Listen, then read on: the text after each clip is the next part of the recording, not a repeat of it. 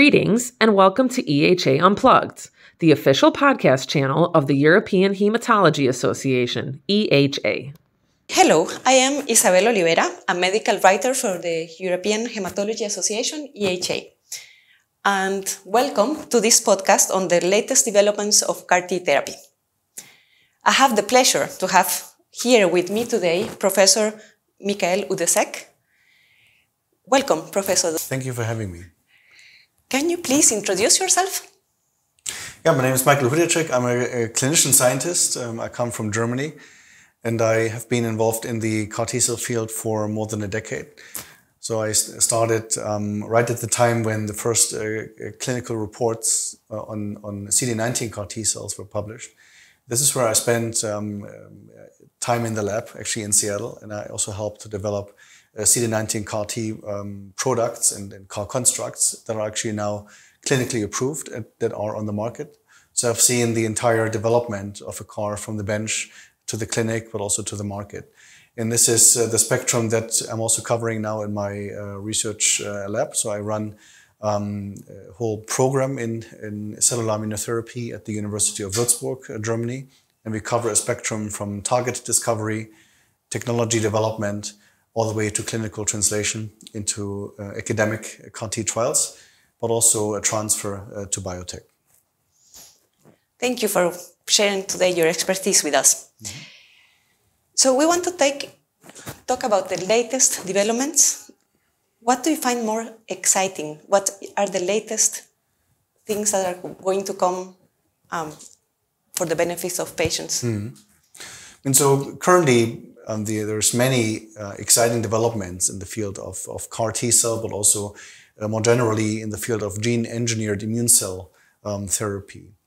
First, um, with uh, CAR T cell products that are now approved and uh, that are applied in many patients, we're now seeing what is called real world experience. So larger numbers of patients are being treated, so we better understand how uh, these treatments work and whether there are correlatives and whether there are parameters that we can even identify before the treatment in order to predict um, whether um, a response will happen, whether that response will be durable, and whether the treatment will be well tolerated.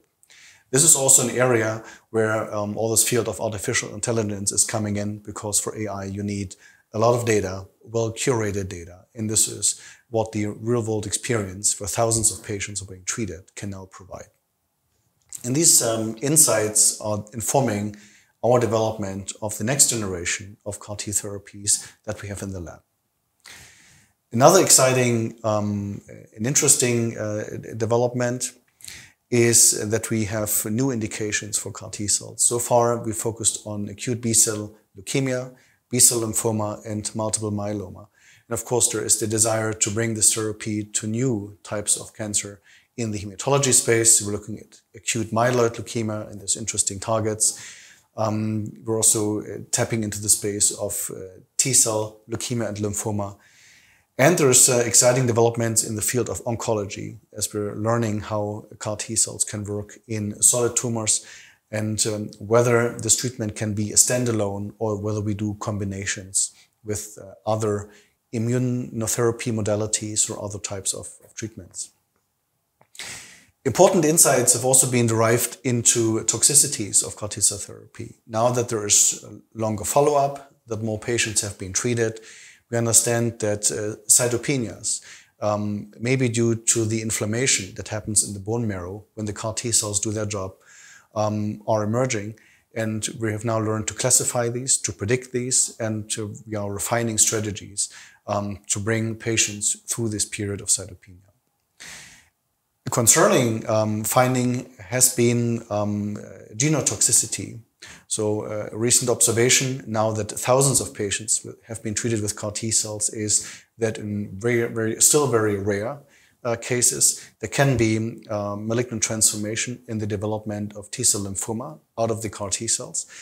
Um, it's a rare event, but it's important to understand it in order to further refine our genetic engineering strategies both for the gene transfer that we do with the CAR, but also for gene editing that we're now introducing into many advanced CAR T products in order um, to edit or eliminate genes that we think are negative for the function of the cell product um, or that uh, affect their ability for long-term persistence, for example.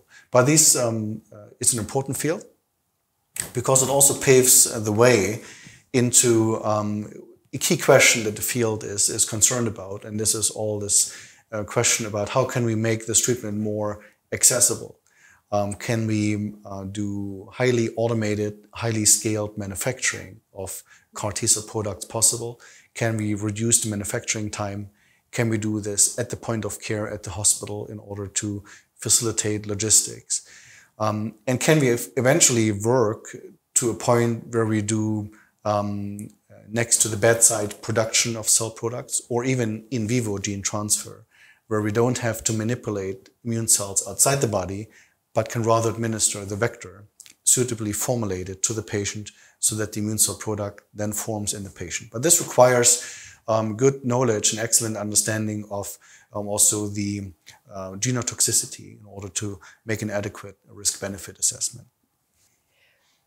So this is the perfect example of a personalized medicine. You have mm. to do these CAR T cells are made for each patient every time.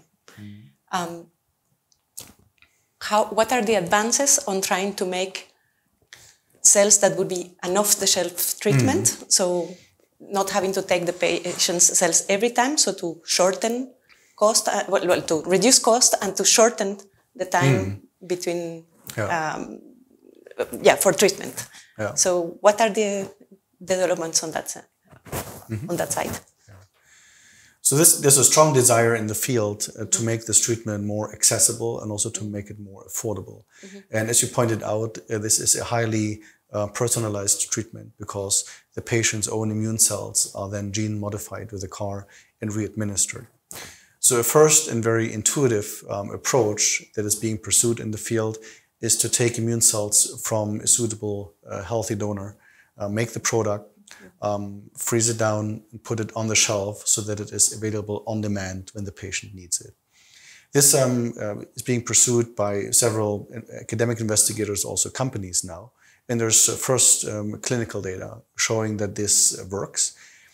It's also clear, though, that there is an immunological barrier. So these allogeneic immune cells are ultimately uh, being rejected. So the therapeutic window uh, that is resulting is shorter than with an autologous cell product. And for some indications and clinical situations, this can be fine. When it's about bridging a patient to a transplant, or when there is a setting of minimal residual disease, for example, it can be fine to have a shorter therapeutic window where the cell product then acts on eliminating these residual leukemic or tumor cells. If you're combating a high amount of tumor cells and when you need a durable response, then this therapeutic window, though, may be too short.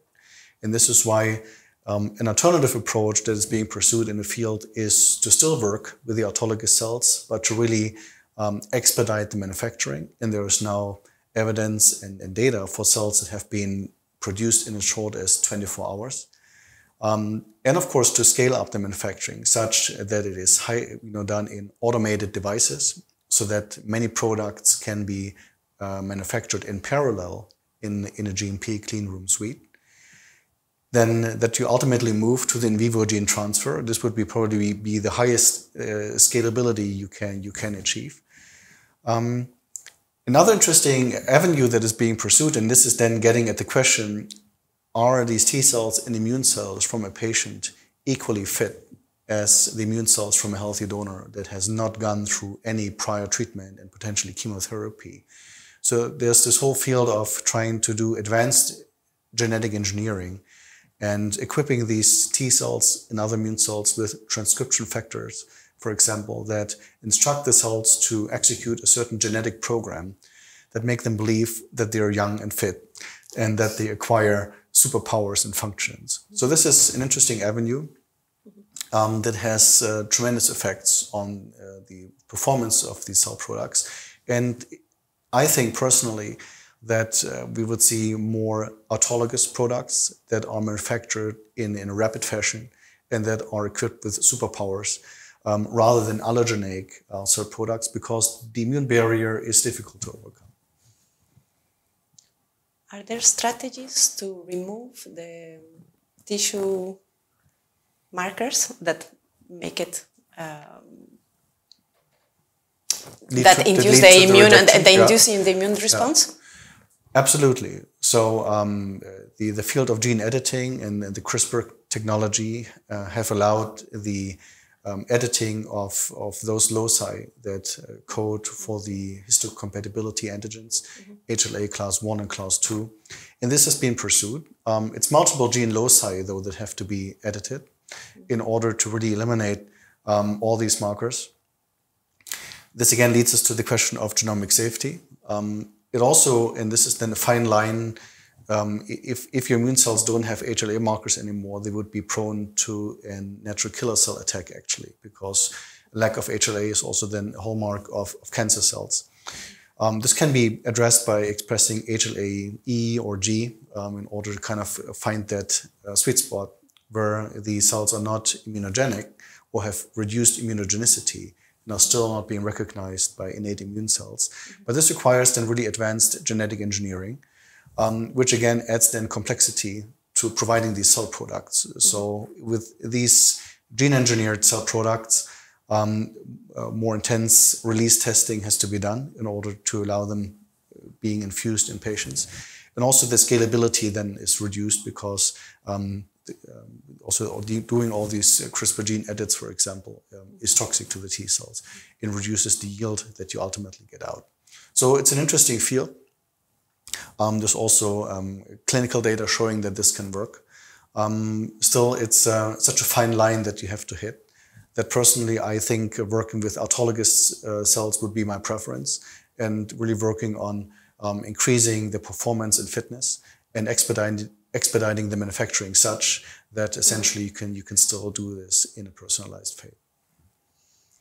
Do you think that all these different approaches will have different applications? Will this all lead to therapies? Um, maybe it will be again a personalized therapy, but not only because you take the patient cells, but because the approach you take to target uh, the cancer will be different, molecularly speaking, every time. I do think so that we will see variations, right? And as we just discussed, a spectrum of autologous, mm-hmm. autologous modified mm-hmm. with a transcription factor, allogeneic, mm-hmm. allogeneic gene edited, um, and not just focusing on T cells, but also considering other immune cells, natural killer cells, macrophages, or combinations thereof. So I think it offers an exciting spectrum from which um, a particular embodiment will probably be selected also for different types of cancer or also now in non-malignant diseases like autoimmune, cardiovascular, neurological diseases where we see applications of engineered immune cell therapy. This is why also from a terminology point, we're now going from pure CAR T cell therapy to gene engineered immune cell therapy, just to describe that broader spectrum. And your point is right. Um, I do think that we will see different embodiments in different types of uh, diseases.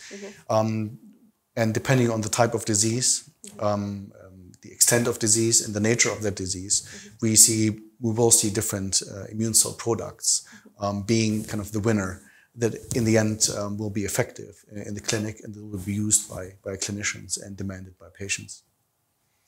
So the future is looking bright, no? There are the future is looking bright. There are For many now, possibilities think so, on the yeah. Mm-hmm. on, in development that will bring, um, yes, many other um, ways of fighting all these hematological malignancies. and beyond, right? All the and we are spectrum already- of yeah. uh, solid tumors, uh, autoimmune, as, as we said. There's Mm-hmm. uh, exciting examples also in, in, in the cardiovascular disease space um, where engineered immune cell therapies uh, can be effective and can provide a benefit to the patients. So we are recording this at the CAR-T meeting Mm-hmm. in Valencia in 2024.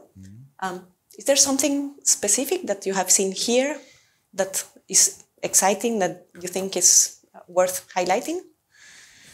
we have an exciting program here in Valencia, um, and of course, there's the kind of the backbone of, of the meeting is the update, the clinical updates on how the the CAR T cell therapies um, are performing now that uh, larger numbers of patients are being treated with acute leukemia with uh, lymphoma, with multiple myeloma, and to see that there is indeed patients that have a long-term benefit. And this is really reassuring and also really encouraging for the field that this can indeed lead to long-term cure and that the patients want these treatments. So I think this is um, uh, first an important message uh, from this meeting.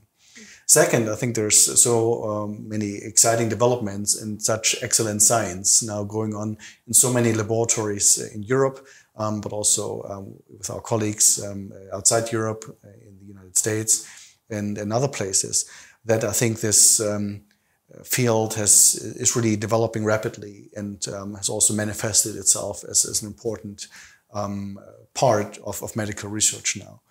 Um, it is interesting and to see um, new frontiers for CAR T cells. We will hear about uh, the experience in autoimmune disease um, with uh, cell products that have actually been repurposed, right? So we're using CD19 CAR T cells now to treat um, um, autoimmune diseases that are mediated by uh, autoantibodies and, and targeting the CD19 and potentially uh, BCMA can lead to elimination of B cells that produce autoantibodies. This is very exciting to see. Um, and at the same time, um, uh, the session on new frontiers, where it's um, it's about allogeneic cell products, um, gene-edited cell products, but also um, cell products um, that are xenolytic. So they, they address cells in the body that are exhausted or terminally, terminally differentiated, such um, that is uh, the opportunity for rejuvenation, for example. And that can be an, an exciting application in the field of regenerative uh, medicine. So this is the spectrum that we're covering. Um, this is um, really uh, encouraging to see. And importantly also the, the spectrum of attendance that, that we have. We have, of course, experienced clinicians. We have junior clinicians that present clinical cases that they've seen on the clinical service. Um, we see uh, scientists at all levels of their training, um, nurses, um, pharmacists, um, industry representatives, and importantly also patients. And we're proud that the patients have their patient forum where they tell us about their experience and how it was to, to receive CAR T therapy and what we can do better um, when we um, accompany patients through this journey and when we explain this treatment to them. So that's, that's an exciting package here in Valencia. Thank you very much for this insightful conversation and special really thank you to you, Professor Udecek, for generously giving your time and your expertise. And thank you all for listening. Thank you for having me. My pleasure.